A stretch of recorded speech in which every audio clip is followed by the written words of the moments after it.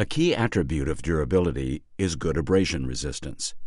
Abrasion resistance is defined as the ability of a fabric to resist loss of surface as a result of friction with itself or another material.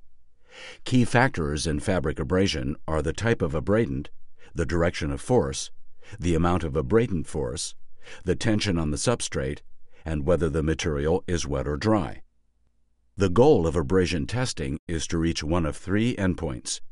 Cycles to failure is one evaluation endpoint. In this scenario, the material is exposed to the abradant until a complete rupture of the construction takes place, or yarns begin to break, or a hole appears.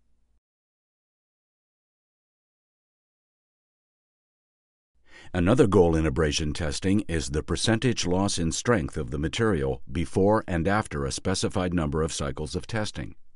The third option for abrasion testing is the evaluation of any visual change of the surface of the specimen. In this scenario, there may be loss of color, distortion of the surface, or both. With regard to surface change, the abrasion may cause a loss or increase in luster, hairiness, loss of surface pile, matting, pilling, and other forms of distortion. With all these tests, performance standards are expressed as minimums. In reporting the data, the type of test performed, the abradant used, the testing lab conditions, and other pertinent information are also listed.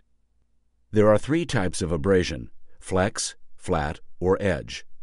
Flex abrasion occurs when a material is bent around an abradant surface. The action of the material around the abradant is typical of most end use applications in that fabrics are typically not used in a flat condition. Flat abrasion results from rubbing the specimen against a flat abradant surface. This type of abrasion would be similar to pants sledding across a chair, the use of a tablecloth or a bedsheet. Edge abrasion occurs when a fabric is folded around itself or when multiple layers of fabric are fused together. Examples are cuffs of shirts and pants, waistbands, hemmed areas of a garment, creases, and pleats.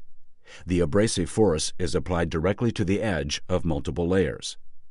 Most apparel and home furnishings are subjected to at least two of these types of abrasion. However, abrasion testing instruments apply only one type of abrasion. The measurement of a fabric's abrasion resistance is, at the least, complex. Abrasion resistance results can be affected by many factors such as fiber content, yarn configuration, fabric construction, chemical finishing, mechanical finishing, and the test method. Testing conditions include the type of abradant, the action of the abradant on the specimen, the tension on the specimen, and other aspects.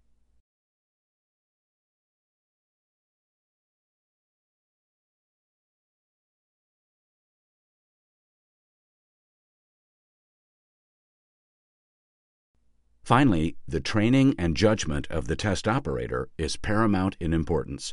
He has to be aware of the particulars of setting up the machine and exercise good judgment as to when the test is complete as to point of failure and to apparatus setup as the test progresses. Therefore, abrasion resistance testing gives a general evaluation of the product's durability.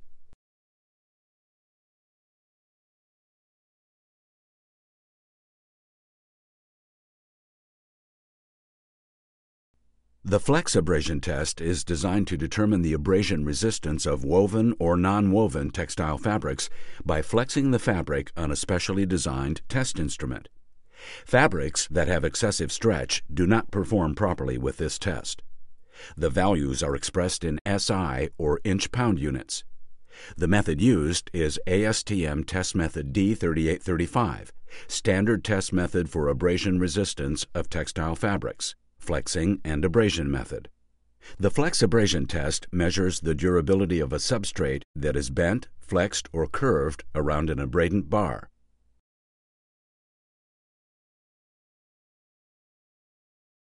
The flexing force used in this abrasion test is measured by subjecting the specimen to a unidirectional and reciprocating folding around the standardized bar. The conditions of pressure, tension, and abrasive action are precisely specified.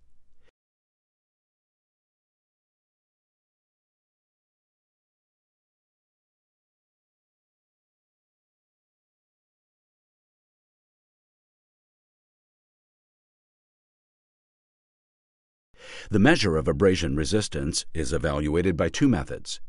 In the first, the specimen is tested for breaking force prior to and after the abrasion cycles. The percent loss in strength due to abrasion is calculated.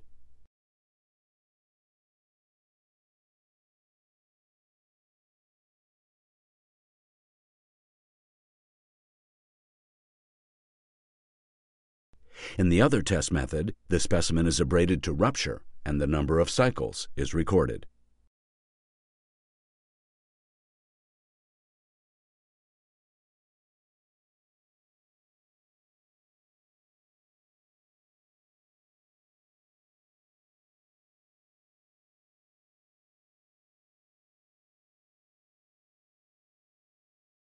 In some applications of flex abrasion, the color change and the appearance change in the fabric surface may be agreed upon by parties involved and become part of the criteria for the specimen passing or failing. In these cases, the knowledge and abilities of the operator are critically important. The abradant bar used for the test is considered a permanent abradant and is made of a hardened metal. It's assumed that the abradant will not change appreciably in a specific series of tests. The bar's abrasive properties can be affected and even change due to the pickup of materials during testing. These include chemicals and other material deposited from contact with the test fabrics. As a result, the bar should be cleaned with alcohol as needed. The abradant bar must be checked at frequent intervals using a calibration ribbon to make sure the bar is in good condition. As with all durability tests, conditions of temperature and relative humidity are critical for the test to be accurate and reproducible.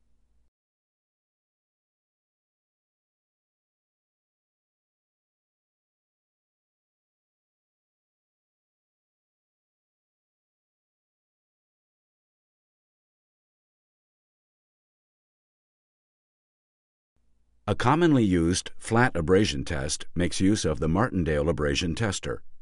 This is covered in the ASTM test method D4966, Abrasion Resistance of Textile Fabrics, Martindale Abrasion Tester Method. Fabrics of all types may be tested by this method, but difficulties may arise with pile fabrics. The Martindale tester has mounting positions for the specimen and the abradant. The bottom mounting position uses a large round sample or abradant, and the top position holds a small round test specimen.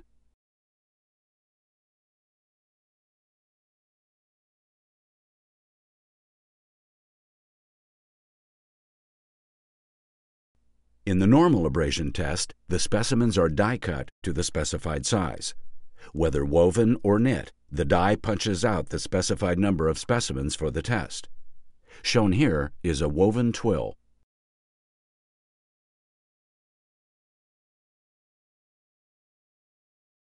These specimens are interlock knit.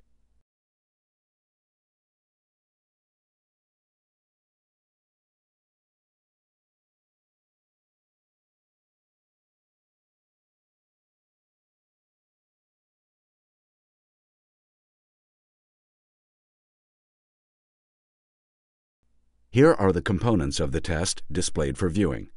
These include the specimen, the backing pad, the two-part sample holder, and the device for loading and locking the sample into the holder.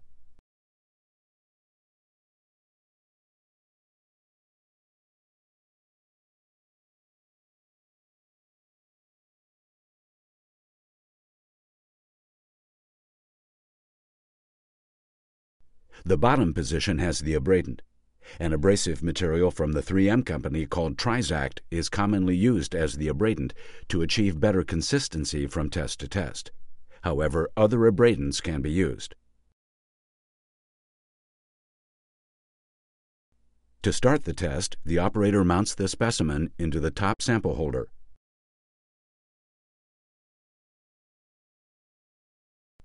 The loaded specimen is then placed face down on top of the abradant on the bottom.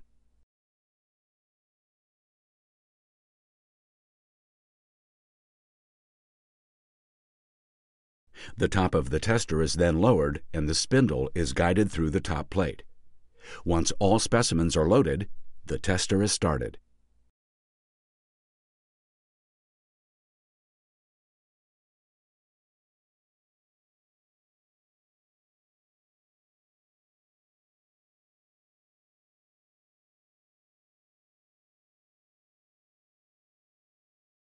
Abrasion resistance using the Martindale tester is measured by subjecting the flat specimen to a rubbing motion.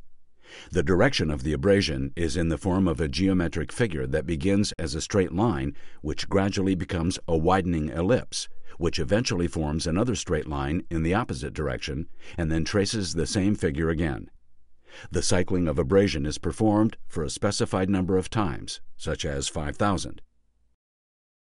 If the specified endpoint is a complete rupture, then the tester is run for a specified number of cycles. The holder is removed and the specimen is evaluated for failure. It may also be compared to a non-abraded specimen. If failure has not occurred, the tester is restarted. If rupture is near, the test continues for a few more cycles and is evaluated again. Shown here are the original fabric before testing with three specimens that have been abraded to failure. Notice that there is significant loss of color as well as a rupture of the surface of the woven specimen. The number of cycles to failure is 8,200. If surface change or color loss is the mandate for a particular number of cycles, the specimens are rated upon reaching that goal. The entire test is performed under controlled conditions of pressure and abrasive action.